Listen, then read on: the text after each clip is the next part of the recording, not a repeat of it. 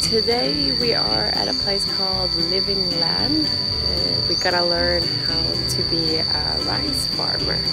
So let's learn all about rice farming. We are Christian and Emily, and we are couple nomads. This is our story of how we quit our jobs to travel the world. Today we are in Luang Prabang, a beautiful French colonial town on the north of Laos. Luang Prabang is also a World UNESCO Heritage Site since 1995 due to well-preserved temples, colonial houses and natural environment. Many things to do here in addition to learning about rice farming.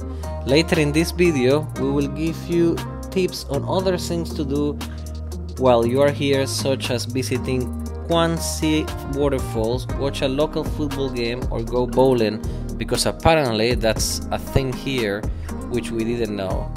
So stay tuned for that, but first let's show you our day as a rice farmers. Welcome to our series In Love with Love. It's a beautiful world out there. Just don't pass on the dare. If you have the will and a moment to spare, it's a beautiful world out there.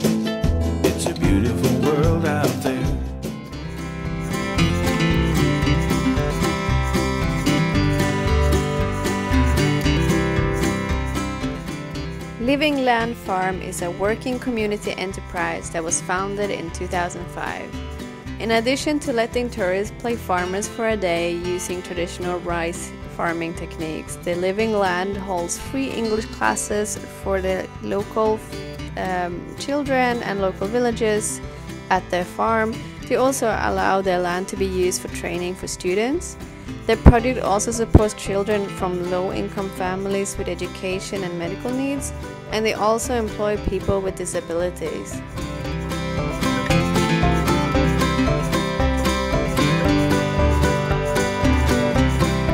Okay, time to rice farm.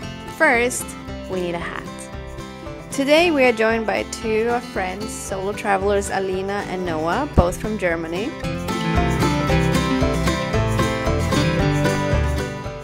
First step of rice farming is to select the grain to plant to make sure that we get a good harvest. And then we plant them in mud. And here the seeds will grow for weeks until they're ready to be replanted.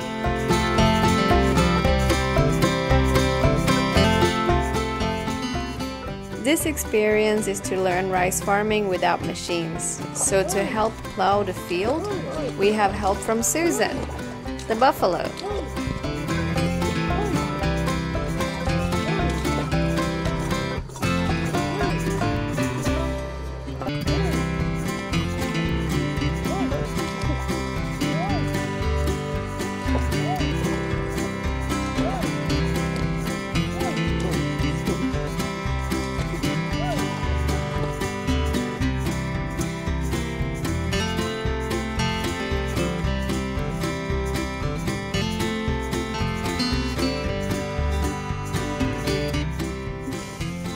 Next, the farmers move the seedlings from the nursery to the plowed field, and each seedling must be planted in the mud by hand. This usually takes quite some time, so the farmers are singing local songs to each other.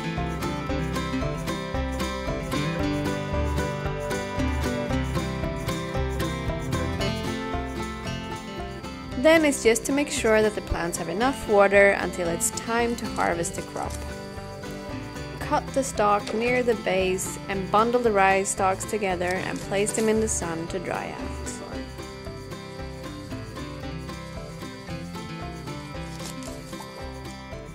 When the rice is dry, the bundles are thrashed against a wooden board.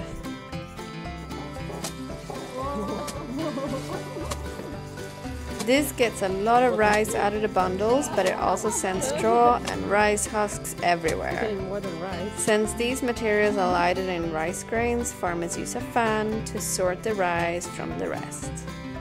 The rice is then loaded into the baskets to be transported into homes or to storage, and these can weigh up to 30 kilos and the farmers have to walk a long way carrying these.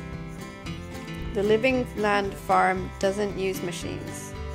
They prefer to honor traditional methods of husking rice. Instead of modern technologies, they stomp the long rice of timber that hammers the rice into a stone bowl. Then women use trays of bamboo to throw the rice into the air and catch it. Back in the day, if you couldn't do this well, you couldn't get married. Well, luckily I'm already married. The rice is then either cooked or made into flour using this machine.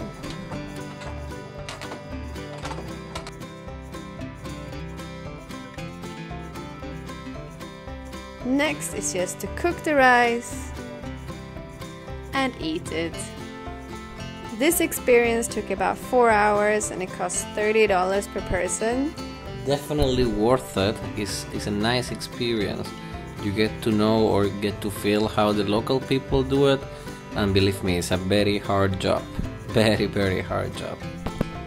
If you're interested in trying this when you are in Luang Prabang, you can book directly with them by texting them on WhatsApp.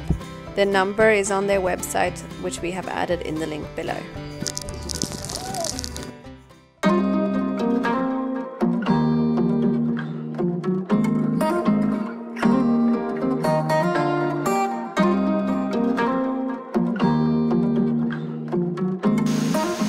Here we are, So we just finished visiting. Kuang Xi waterfalls. Uh, we came a bit late, so we didn't have the chance to swim, but we went all the way up to the viewpoint. Yeah, if you want to go to all the way around the waterfall, it would take you about an hour. It's Yeah. quite steep hike, but Make sure you bring water with you. and mosquito repellent. Yeah, lots of them. Eh, if, if you ask if it's worth it or not to go up there, well, uh, if you want to do some exercise and some workout, and then you can jump in the lagoon, in the waterfall to yeah, swim. it's very sweaty, and you can swim in this uh, lagoon, sort of waterfall. It's quite nice. We didn't do that this time, but We wake up nice. late. Yeah. if I you want to come alone where there's no people, come early, Early, yeah. like 8 a.m. when they open. Make sure you take when you come in, go to the right side, and you will see the bears, and you will see also a little leopard cat.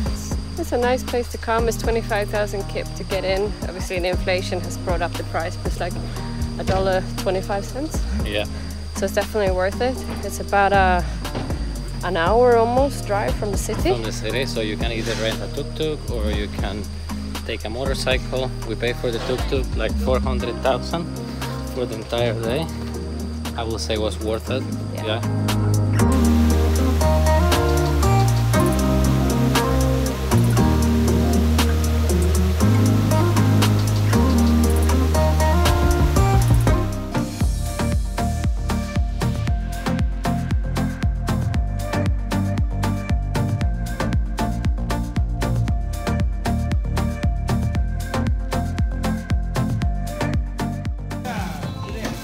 Guys, so we're here watching Luang Prabang United against Ezra. I got myself a little goodie. The Luang Prabang United t-shirt. Go on lads.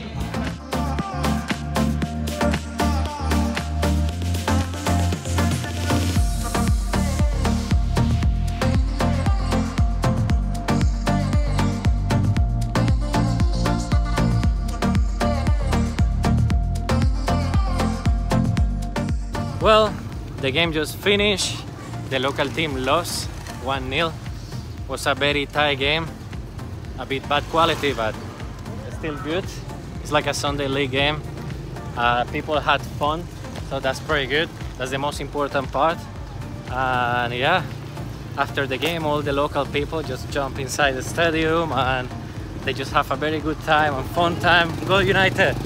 Yeah, and. Uh,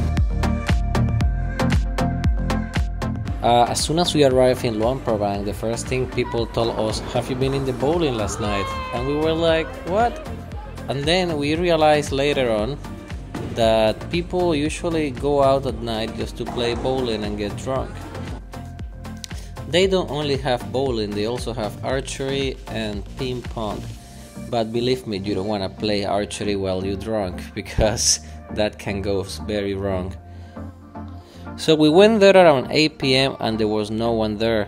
But around 10 or 11 pm, people start to come and the place got packed.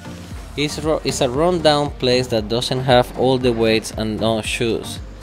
But they serve alcohol, so that makes things more fun. We pay around 20,000 kip per person for a game. And also, if you want to do archery, it costs 10,000 kip for 5 arrows per person. So that's it from Luang Prabang. We are going to continue north now to a town called Nong Khiao. Our plan is to cross the north border of Vietnam with Laos, but we don't know how to do it yet. So we will have to figure it out when we get there. We are very excited to share with you what's coming after here. Eh, if you really like this video, don't forget to hit the like button. If you want to continue our journey, don't forget to hit the subscribe button. We don't need the past in our lives for tomorrow. Never see the end of the night filled with sorrow. What do we do to love? What do we do to love?